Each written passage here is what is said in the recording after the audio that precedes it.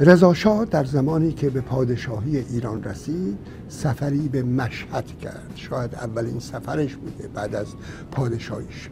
در مشهد که بوده یک پسر بچه ده دوازده ساله رو برش میارن و میگن این پسر بچه کور مادرزاد بوده و شب گذشته امام رضا شفاش داده و الان داره می‌بینه. هر دو چشمش که کور بوده و نمی‌دیده الان سالمه.